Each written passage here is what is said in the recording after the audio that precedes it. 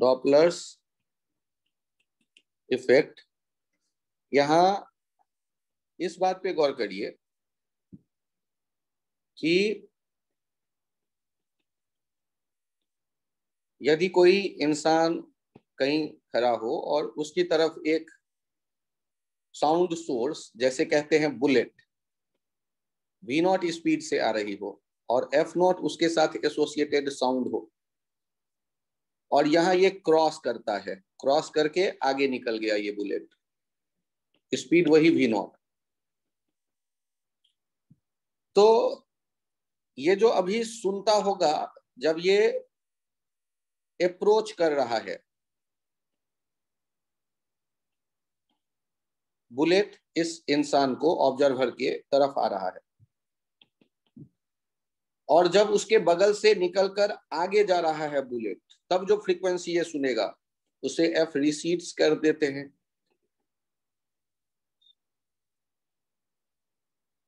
तो इन दोनों में अंतर क्या होगा? तो अप्रोच वाला देखते हैं। ये ओ कहने से थोड़ा सा कंफ्यूजन हो जाएगा। तो भी बुलेट मैं कह देता हूँ। या भी सोर्स ही कह देता हूँ, क्योंकि सोर्स है, अभी यही bullet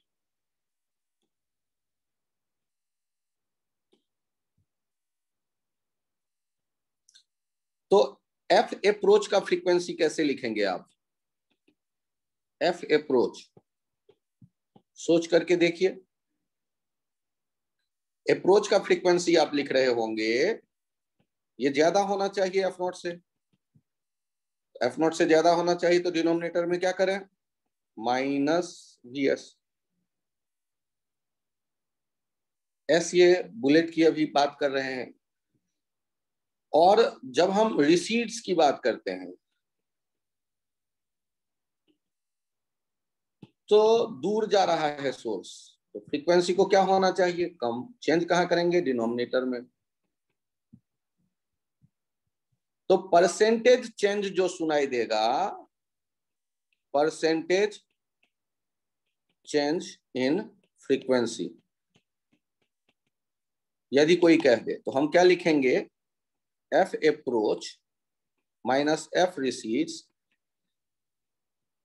upon f nought into hundred यदि कोई सोर्स आपके बगल से गुजरे साउंड एफ़ नॉट की फ्रीक्वेंसी को जनरेट करते हुए, जब वो आपकी तरफ़ आ रही होगी, तब जो फ्रीक्वेंसी है एफ़ एफ़ और जब वो अप्रोच वाली फ्रीक्वेंसी उसे कह देते हैं, या एफ़ वन कह देते हैं और जब वो दूर जा रही है ऑब्जेक्ट आपसे तो आप कहते हो एफ़ रिसीव्स और यहाँ परसेंटेज चेंज यदि देखना है तो इस तरह से कैलकुलेट कर सकते हैं।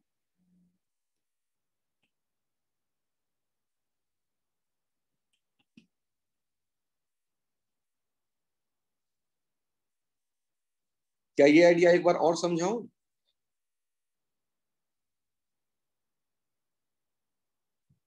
क्या सुबह।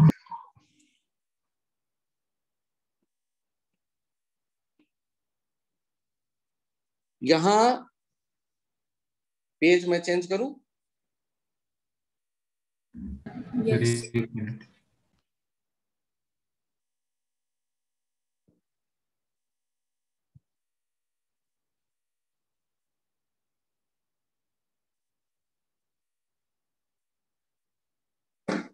हो गया अच्छा। यदि आप देख रहे हैं कि ये स्पीकर यहाँ पर लगाए गए। स्पीकर वन और यहाँ पर है स्पीकर टू।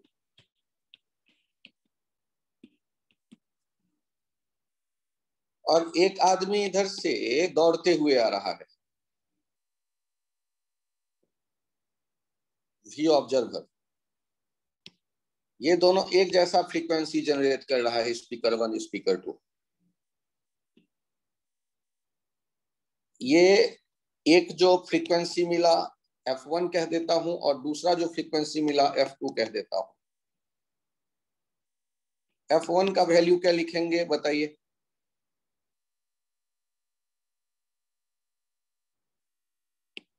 एफ़ से ज़्यादा और नज़दीक जा रहा है ये स्पीकर वन के। तो न्यूमिनेटर में चेंज करेंगे प्लस आपने किया। और एफ़ टू क्या होगा? तो वो दूसरे सोर्स के भी नज़दीक जा रहा है ये ऑब्जर्वर तो बढ़ना चाहिए frequency plus v nought by v क्या यहाँ कोई बीट्स का पॉसिबिलिटी है? ज़ीरो नहीं। क्योंकि दोनों ही स्पीकर एक जैसा फ्रीक्वेंसी जनरेट कर रहा था और ये आदमी दोनों के नज़दीक एक ही स्पीड से भाग के जा रहा है। तो जो बीट्स यहाँ क्यों आएगा? क्योंकि दोनों के कारण जो इसे फ्रीक्वेंसी मिला वो बढ़ा हुआ, एक जैसा बढ़ा हुआ। उनमें कोई अंतर है ही नहीं। अब आदमी दौड़ते हुए आगे निकल गया है दोनों स्पीकर के बीच दौड़ रहा है और जा किधर किधर रहा है लेफ़्ट से राइट अब जो इसके कानों में फ्रीक्वेंसी आएगा एक एफ़ वन डैश और एक एफ़ टू डैश आपको क्या लगता है क्या ये दोनों एक जैसे होंगे? कौन ज़्यादा होगा? एफ़ वन डैश देखते हैं। पहले वाले स्पीकर से ये दूर जा रहा है तब तो कम होना चाहिए फ्रीक्वेंसी ऊपर माइनस किया। और एफ़ टू डैश के लिए उसके नज़दीक जा रहा है दूसरे वाले स्पीकर के तो बढ़ेगा frequency v plus v nought by v f तो यहाँ पर बीट्स आएगा। कैसे लिखेंगे? F two dash minus f one dash आप यदि इन्हें सब्सट्रैक्ट करते हैं तो देखिएगा ये हो जाएगा twice v nought f by v आ जाएगा। और ये आदमी दौड़ते हुए आगे निकल गया दोनों स्पीकर से। जब ये आदमी दौड़ते हुए आगे निकल गया है दोनों स्पीकर से तो इसके कानों में आने वाले दोनों जो अब साउंड होंगे, वो एफ़ वन डबल डैश कह देता हूँ और एफ़ टू डबल डैश कह देता हूँ। एफ़ वन डबल डैश तो पहले स्पीकर से दूर जा रहा है, कम करो। Frequency v minus v nought upon v into f और एफ़ टू डबल डैश उससे भी दूर जा रहा है। V minus v nought upon v into f तो नेट क्या हो जाएगा? F two double dash minus f one double dash ये क्या हो जाने वाला है? फिर से zero f beats double dash क्या हो गया? ज़ीरो एफ़ बीट्स डैश वाला तो बचेगा। और एफ़ बीट्स जो पहले था, वो ज़ीरो था।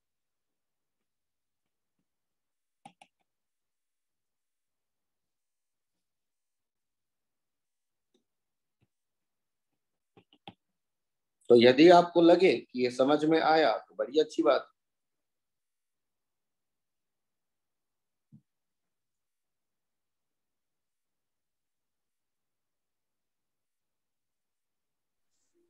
Sir f two double dash minus f one double dash इसके इक्वल दिख नहीं रहा अच्छा आपको वो नहीं पसंद आया? कोई बात नहीं। तो एक काम करो ना f one double dash minus f two double dash लिख लो। देखो तो कितना आता है। सर दिख नहीं रहा मैं। अच्छा आपके स्क्रीन पे नहीं आया ये कह रहे हैं आप। अच्छा ये दोनों ही स्पीकर से दूर जा रहा है या नज़दीक आ रहा है?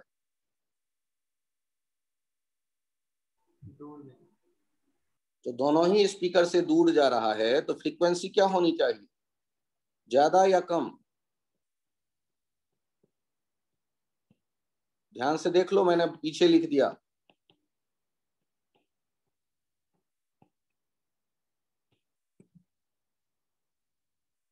V minus v naught by v into f, v minus v naught by v into f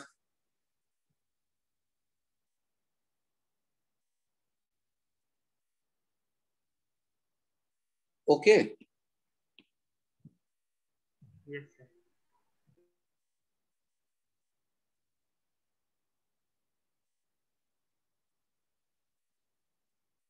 अब यहाँ चेक करिए। यदि आपसे कहा जाता है एक टावर के छत से एक साउंड सोर्स को, एक स्पीकर को, एक स्पीकर इज़ ड्रॉप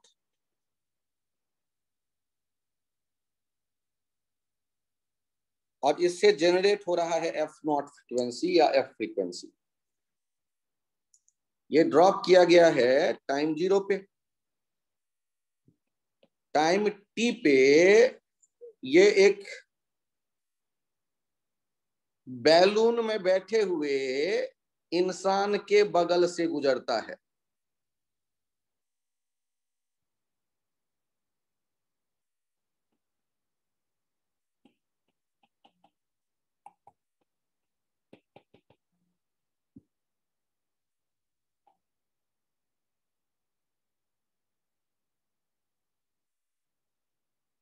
यहाँ इंसान का जो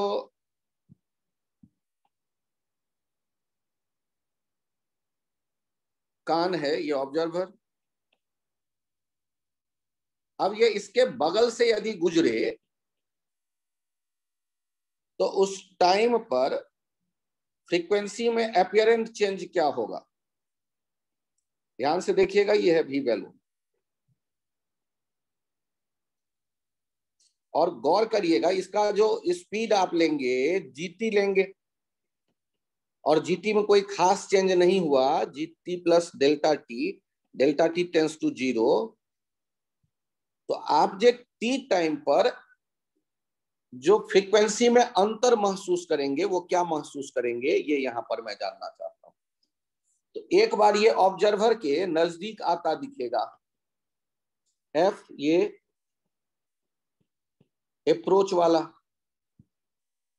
सोर्स जो है नज़दीक आ रहा है तो प्लस जीटी और ऑब्जर्वर भी नज़दीक जा रहा है वी बैलून और मल्टीप्लाई किसको कर दूँ? एफ़ को। और जब ये दूर जाता हुआ दिखे एफ़ रिसीव्स तो स्पीड का तो वही गणित है। ऑब्जर्वर ऊपर जा रहा है और वो जो सोर्स है वो नीचे गिर रहा है। ऑब्जर्वर के दूर हटने से वी माइनस वी बैलून और सोर्स के भी दूर जाने से भी डिनोमिनेटर में plus GT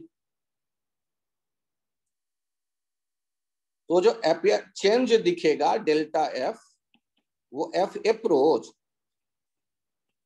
minus F receipts के बराबर होगा। सर? हाँ बताइए। सर एफ़ अप्रोच में स्पीकर नीचे आ रहा है और ऑब्जर्वर ऊपर जा रहा है। तो दोनों ऊपर वेट करो वेट करो। हाँ आपने सही कहा अप्रोच के लिए अप्रोच में स्पीकर सोर्स के नज़दीक जा रहा है। उससे हमें बढ़ाना चाहिए। और नीचे जो है ये माइनस करेंगे तो बढ़ेगा फ्रीक्वेंसी आप सही. हैं? V प्लस वी बैलून और नीचे V minus G T thank you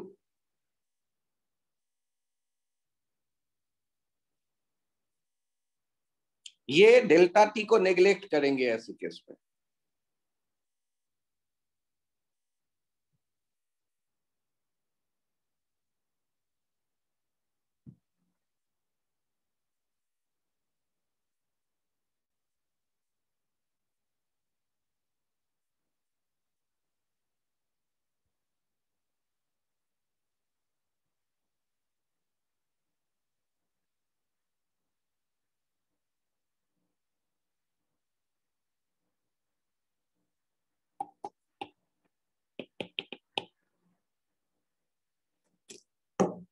अब ये यदि आइडिया समझ में आ गया हो तो नेक्स्ट देखिए। एक सर्कुलर ट्रैक है। इस ट्रैक पे ट्रेन को जाते देखिए, लंबी सी ट्रेन और आपसे क्या कहा गया? ट्रेन से विसिल जनरेट किया फ्रीक्वेंसी एफ़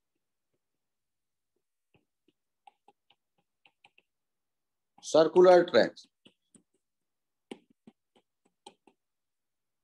यदि आप देखें सर्कुलर ट्रैक तो ये रेडियस ये रेडियस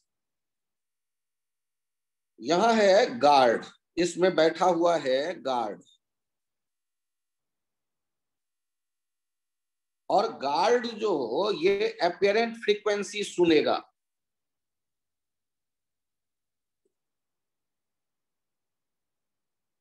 तो यहाँ पर तो ये जाते देखो ट्रेन को।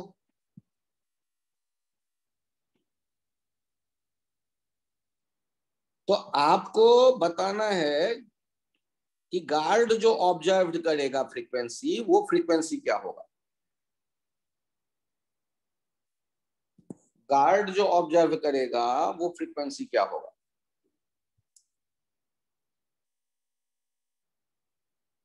तो ध्यान से देखिए। गार्ड का यदि आप वेलोसिटी दिखाना चाहेंगे तो गार्ड का भी वेलोसिटी वो ट्रेन के ही साथ है ना? टेंजेंट के लॉन्ग आप लेंगे। वी ट्रेन यदि ये दोनों जगह चेक करिए, यहाँ पर आप थीटा से मान लेते हो तो यहाँ भी होगा थीटा तो यहाँ हो जाएगा 90 माइनस थीटा यहाँ है 90 और यहाँ भी होगा 90 माइनस थीटा। तो अब सोचिए, यदि आप एफ़ अपियरेंट लिखने वाले हैं तो दो फ्रीक्वेंसी तो आपने दो देखिए, पहले तो सोर्स को देखिए लाइन ज्वाइनिंग के अलोंग उसका वेलोसिटी क्या है? दूर जा रहा है और है वी ट्रेन साइन थीटा और दूसरा देखिए ऑब्जर्वर गार्ड गार्ड सोर्स के नज़दीक जाने की कोशिश कर रहा है। उससे बढ़ेगा फ्रीक्वेंसी तो ऊपर प्लस करो। वी ट्रेन साइन थीटा इस लाइन के अलोंग जो स्पीड आ रहा है V train cos 90 minus theta ये किसमें बदल जा रहा है? वी ट्रेन साइन थीटा में। वो यहाँ भी बदल रहा है। V train cos 90 minus theta ये हो जा रहा है वी ट्रेन साइन थीटा तो अब आप चेक करिए, यहाँ पर तो न्यूमिनेटर और डिनोमिनेटर दोनों एक जैसे हैं कैंसिल आउट हो गए। एफ़ डैश किसके बराबर आएगा? एफ़ के। तो गार्ड जो है, वही फ्रीक्वेंसी अभी सुन रहा होगा, जो इस ड्राइवर ने जनरेट किया है विसिल इंजन में।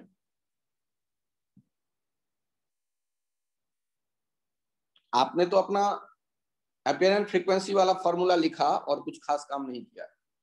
और आपको ये एफ़ और एफ़ डैश एक जैसे दिख रहे हैं।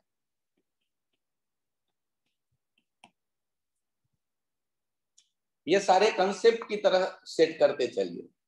कि कंसेप्ट की तरह मतलब एग्ज़ाम्पल होगा तो उसमें डाटा होंगे। और अभी हमने आपको जो फॉर्मूले बताए, इनके लिखने की हम प्रैक्टिस कर रहे हैं और कोई खास काम नहीं।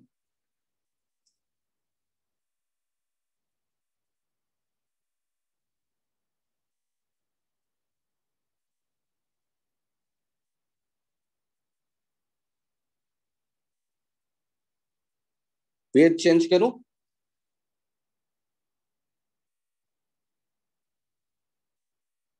दो मिनट। सर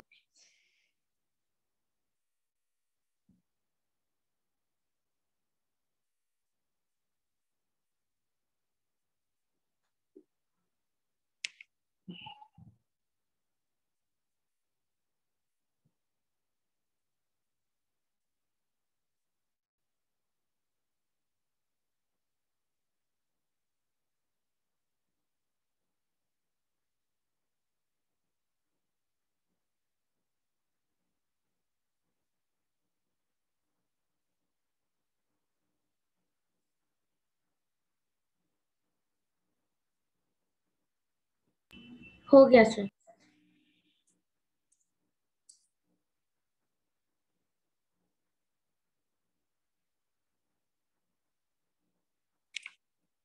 यहाँ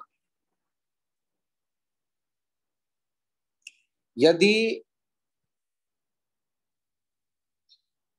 एक वर्टिकल सर्कुलर मोशन में घूमता दिख रहा हो स्पीकर जो कि फ्रीक्वेंसी एफ़ जनरेट करता है। तो लोएस्ट पोजीशन पर याद करो फाइव जी आर हॉरिजेंटल होता था under root five G R three G R हो जाता था। और ऊपर वाले पोजीशन पे देखते थे अंडर रूट जी आर और फिर यहाँ देखते थे वही under root three G R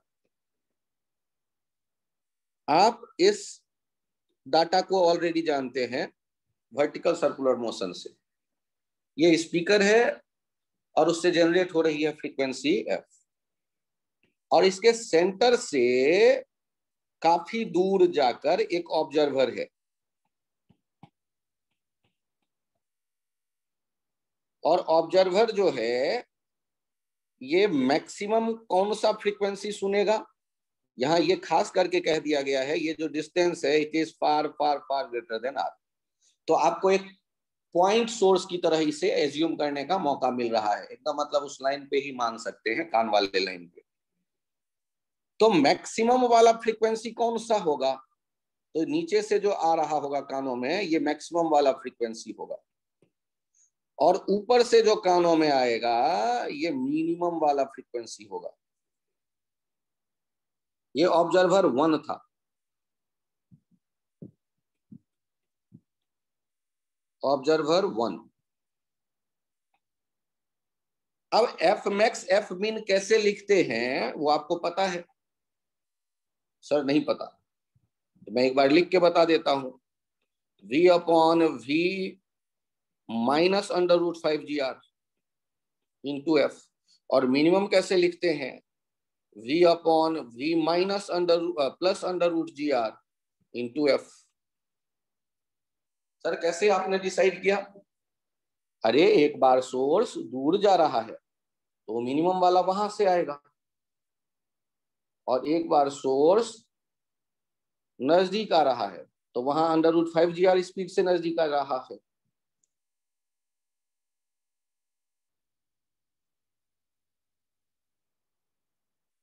और यहाँ वाला जो जनरेट होगा एफ़ तो वो डायरेक्ट एफ़ ही पहुंचेगा कानों में क्योंकि वहाँ वेलोसिटी का कोई कंपोनेंट लाइन ज्वाइनिंग के लॉन्ग नहीं है।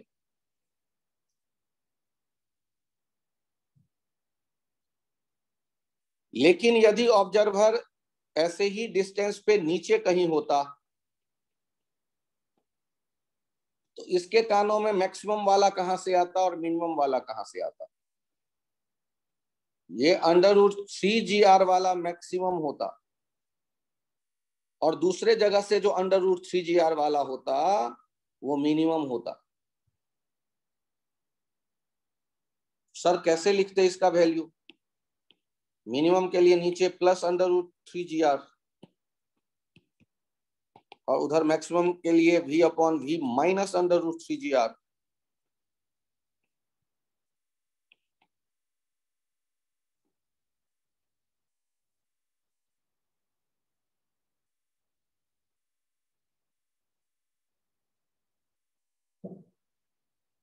इसी तरह क्या नीचे और ऊपर भी लिख सकते हैं? वर्टिकल अप और लेफ़्ट साइड में भी लिख सकते हैं?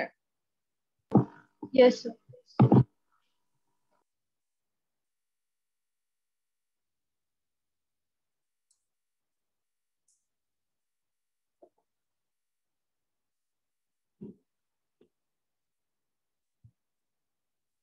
मैं पेज चेंज करूँ? सर एक मिनट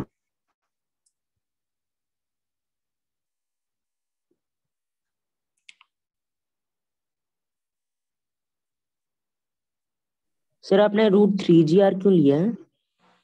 वर्टिकल सर्कुलर मोशन में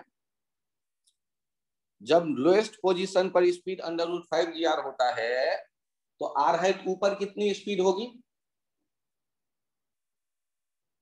Under root three G R तो नज़दीक आने वाला वेलोसिटी और दूर जाने वाला वेलोसिटी यहाँ देखिए तो सर्कुलर मोशन में कौन सा है जो नज़दीक आने वाला डायरेक्शन में है?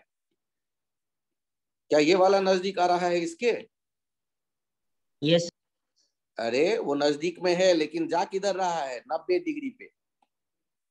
वेलोसिटी का वो तो ना तो नज़दीक आने का कोई टेंडेंसी है ना ही दूर जाने का कोई टेंडेंसी है। तो हम ये डिस्टेंस नहीं देख रहे। हम देख रहे हैं वेलोसिटी अप्रोच का है या सेपरेशन का है? तो अप्रोच या सेपरेशन वाला कौन सा आएगा ये बताओ। ये under root three G R वाला जो पोजीशन का वेलोसिटी दिख रहा है एक बार हॉरिजेंटल वाले सिचुएशन में पार्टिकल वो सोर्स किधर जा रहा है? नीचे वाले ब्लू वाले ऑब्जर्वर से दूर। और दूसरे under root three G R वाले सिचुएशन में किधर जा रहा है वो ऑब्जेक्ट ऑब्जर्वर टू के पास। तो जिस समय वो नज़दीक आ रहा है वो वेलोसिटी डिस्टेंस नहीं वेलोसिटी इंपॉर्टेंट है ध्यान देना। फॉर्मूले में डिस्टेंस लिखते हो या वेलोसिटी वेलोसिटी तो under root five G R वाला वेलोसिटी थोड़े ना आएगा किसी किसी फॉर्मूले में। वो तो नब्बे डिग्री पे है। स्पीकर और ऑब्जर्वर के कान को लगी मिलाते हैं तो उसके रिस्पेक्ट में। तो उसका तो कोई कंपोनेंट नहीं आएगा। तो वो एफ़ जनरेट होगा तो एफ़ ही सुनाई देगा इस ऑब्जर्वर को। यस वो एफ़ जनरेट होगा तो यहाँ एफ़ ही आएगा। क्योंकि वहाँ कोई वेलोसिटी का कंपोनेंट नहीं होगा। वो ऊपर वाला भी एफ़ जनरेट होगा तो एफ़ ही आएगा। क्योंकि वहाँ वेलोसिटी का अप्रोच वाला या सेपरेशन वाला कोई कंपोनेंट नहीं है।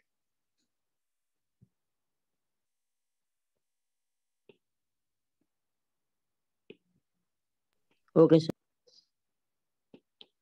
अच्छा ये सोच के बताओ तो लेफ़्ट साइड में यदि ऑब्जर्वर है तो उसका क्या होगा ऑब्जर्वर थ्री वो कौन सा वाला स्पीड लोगे जहाँ से मैक्सिमम आएगा और कौन सा वाला स्पीड लोगे जहाँ से मिनिमम आएगा?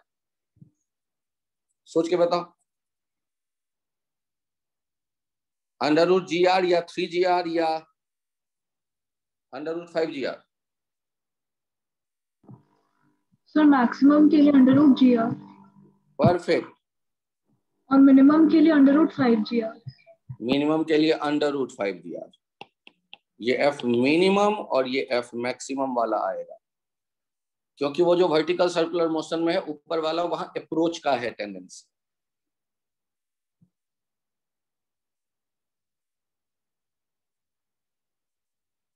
ध्यान से देखिए। एक आइडिया आता है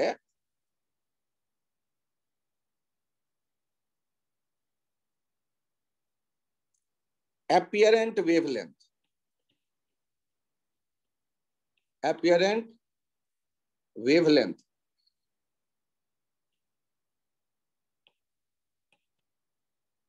In Doppler's effect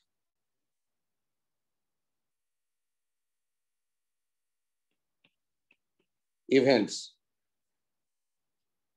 अब ये अपियरेंट वेवलेंथ के लिए यदि मैं कहता हूँ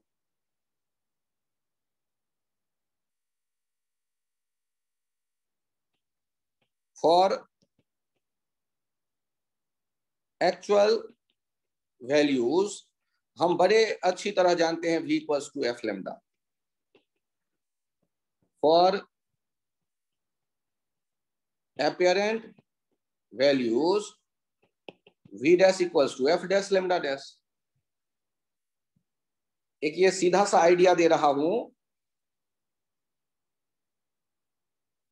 इन्हें आप यूज़ कर लो। यहाँ पर v क्या है? वेलोसिटी ऑफ़ साउंड f क्या है? Frequency generated by source. Generated by source. और लेमडा क्या है? एक्चुअल वेवलेंथ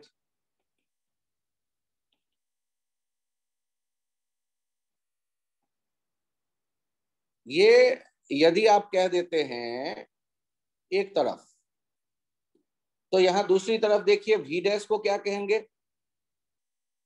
पहले एफ़ डैश से मैं शुरू करता हूँ, जो आपको अच्छा लगता है। एफ़ डैश ये कहेंगे एपियरेंट एपियरेंट फ्रीक्वेंसी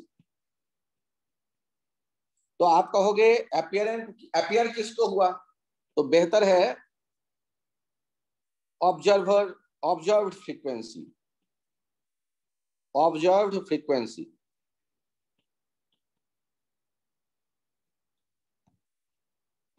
ये क्या कह रहा हूँ मैं इसे? ऑब्ज़र्व फ्रीक्वेंसी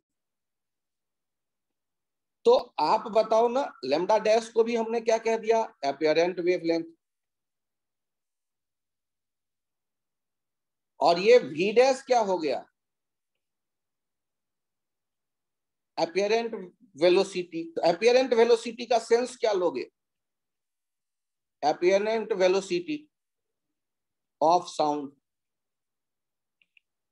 तो इसका मतलब लेंगे velocity of sound V dash के लिए क्या लिख रहे हैं? मैं फिर से लिखता हूँ। वी डैश के लिए हम लिखने वाले हैं velocity of sound with respect to the observer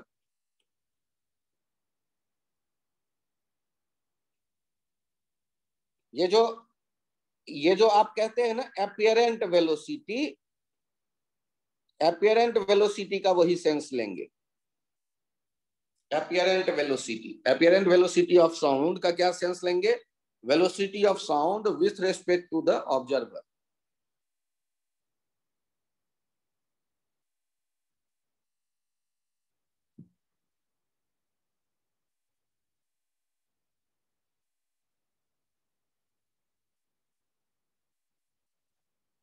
sir ये कंफ्यूज कर रहे हैं आप। ये कॉपी पे लिख लिया आपने एक बार? यस सर मैं आपसे कहता हूँ कि एक ट्यूनिंग फॉर्क फ्रीक्वेंसी 660 हर्ज और ये इस तरफ़ आ रहा है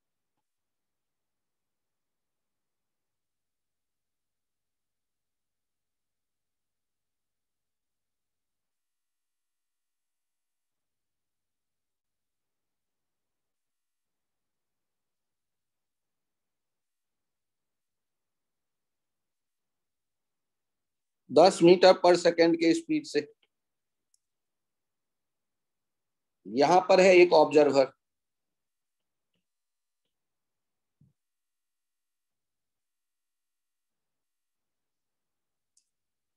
आपसे निकालने को कहा हमने एफ़ डैश और फिर बताने को कहा लेमडा डैश मतलब अपियरेंट वेवलेंथ यहाँ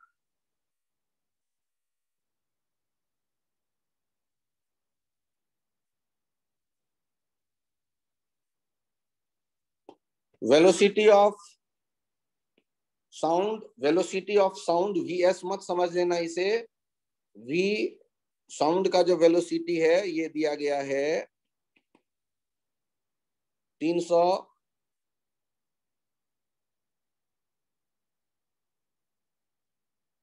चालीस मीटर पर सेकेंड। आपको पहले एफ़ डैश बताना है और फिर लेमडा डैश बताना है।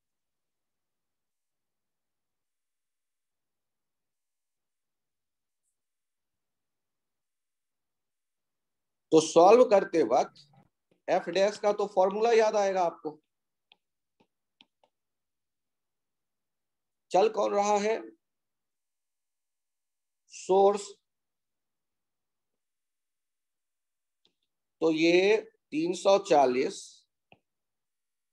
340 माइनस दस इंटू छ सौ साठ, तीन सौ चालीस, तीन सौ तीस इंटू छह सौ साठ छ सौ अस्सी हर्ज वी डैश क्या होगा? Velocity of sound with respect to observer observer तो चल ही नहीं रहा। यदि ऑब्जर्वर चल ही नहीं रहा तो तो जैसा है वही लिख दो। वेलोसिटी ऑफ़ साउंड 340 वो साउंड उसकी तरफ़ आ रहा है और ऑब्जर्वर तो चल ही नहीं रहा तो वही हो गया अपेरेंट वेलोसिटी और लेमडा डैश हम ढूंढ रहे हैं। फॉर्मूला क्या लिखेंगे? V dash equals to F dash lambda dash V dash तीन सौ चालीस एफ़ डैश छ सौ अस्सी और ये लेमडा डैश तो लेमडा डैश का वैल्यू कितना आ गया? तीन सौ चालीस बाई छ सौ अस्सी। One by two metre.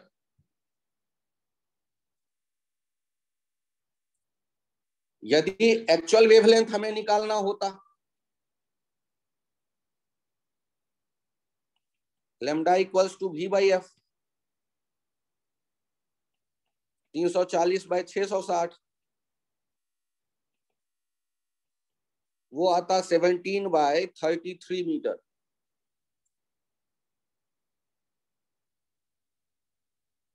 लेकिन अभी कितना आया है? वन बाई टू मीटर ये लेमडा डैश है.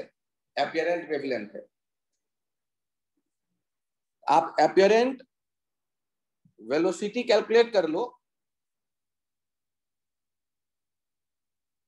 एपियरेंट फ्रीक्वेंसी डॉपलर्स इफ़ेक्ट से कैलकुलेट कर लो और फिर फॉर्मूला वही अप्लाई कर दो. V dash equals to f dash lambda dash.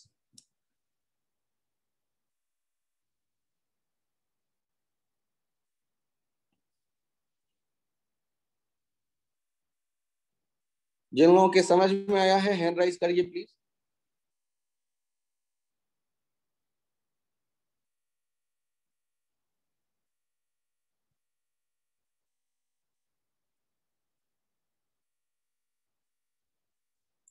Check करिए। वही ट्यूनिंग फॉर्क वही ट्यूनिंग फॉर्क 660 10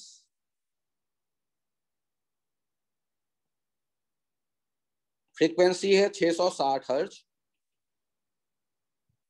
और ये 10 मीटर पर सेकेंड से इस तरफ़ जाते हुए आपने देखा। ऑब्जर्वर इधर आ रहा है फाइव मीटर पर सेकेंड से।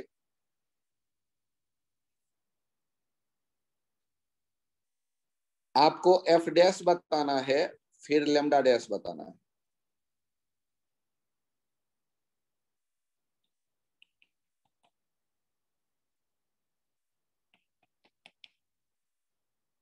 तो सबसे पहले आप एफ़ डैश के लिए फॉर्मूला देखिए। सोर्स के नज़दीक आने से बढ़ना चाहिए तो माइनस टेन। और वो वेलोसिटी ऑफ़ साउंड भी पिछला वाला ही अवेलेबल है। वेलोसिटी साउंड का जो दिया गया है, वो दिया गया है three three forty meter per second. आप सोर्स वाला माइनस करने वाले हो, जिससे कि बढ़े फ्रीक्वेंसी, और ऑब्जर्वर का चेंज ऊपर करते हैं, वो भी नज़दीक आ रहा है, उससे बढ़ाने के लिए ऊपर प्लस करना पड़ेगा। 340 प्लस पाँच और नीचे 340 माइनस दस इंटू छ सौ साठ। तो ऊपर कितना आ गया? 345 बटे 330 660 तो ये एफ़ डैश आ गया six nine zero hertz check कर लीजिए कैलकुलेशन अब V dash apparent velocity of sound ध्यान से देखिए साउंड आपकी तरफ़ आ रहा है और आप नज़दीक जा रहे हैं उस साउंड के, उसी तरफ़ साउंड की तरफ़। तो अपेरेंट वेलोसिटी हो गया 345 और जब आप लिखेंगे v dash equals to F dash lambda dash तो चेक करिए क्या होगा।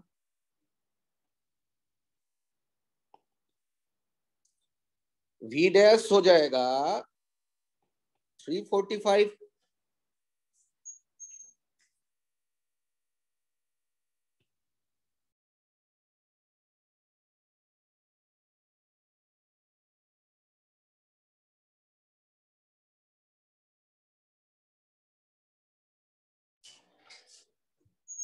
थ्री फोर्टी फाइव और दूसरा एफ़ डैश कितना देख रहे हैं? वही तो ढूंढ रहे हैं। लेमडा डैश अच्छा नहीं एफ़ डैश तो कैलकुलेट कर चुके हैं। सिक्स नाइन ज़ीरो और लेमडा डैश तो लेमडा डैश हो गया, अब फिर से वन बाई टू अरे ऑब्जर्वर के चलने का असर नहीं दिख रहा कुछ।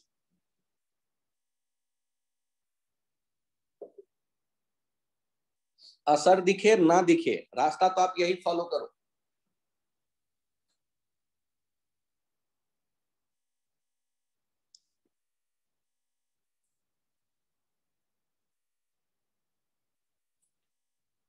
ये चेंज करूँ मैं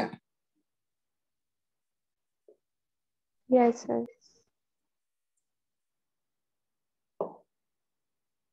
एक बाड़ी आता है इस पॉइंट के सोचने की इंटेंसिटी ऑफ़ साउंड तो मैं तो सीधे कहता हूँ कि वो याद रखो आपने जो ट्रेवलिंग वेव में यूज़ किया। One by two rho V omega square amplitude square लेकिन लफड़ा क्या है? दो एम्पलीट्यूड हो जाते हैं।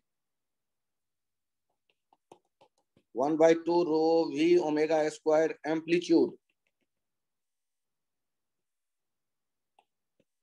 तो यहाँ एम्पलीट्यूड कौन सा लेना है आपको? डिस्प्लेसमेंट और यदि डिस्प्लेसमेंट एम्पलीट्यूड को देखना है तो rho V omega square S naught square आपको यदि एस नॉट का पी नॉट से रिलेशन चाहिए पी नॉट होता है बी के एस नॉट यदि आप पी नॉट वाले फॉर्मेट में जाना चाहे, और वेलोसिटी ऑफ़ साउंड लिखते हैं under root B by density rho इन सब का आप यूज़ कर सकते हैं, यदि एक फॉर्मेट से दूसरे फॉर्मेट में जाना चाहे तो।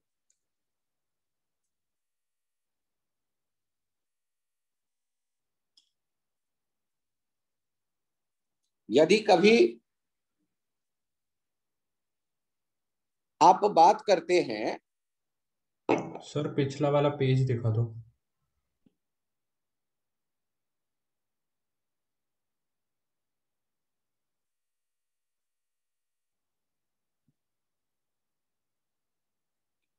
हो गया है सर।